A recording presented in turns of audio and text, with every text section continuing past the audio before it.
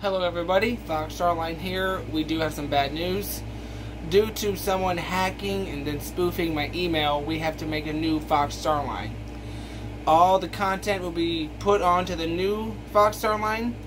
Uh, make sure you check us out there. We are going to put a link in the description below, and we will probably delete this right tomorrow night. Uh, keep calm and sail on, and I hope to meet you over there.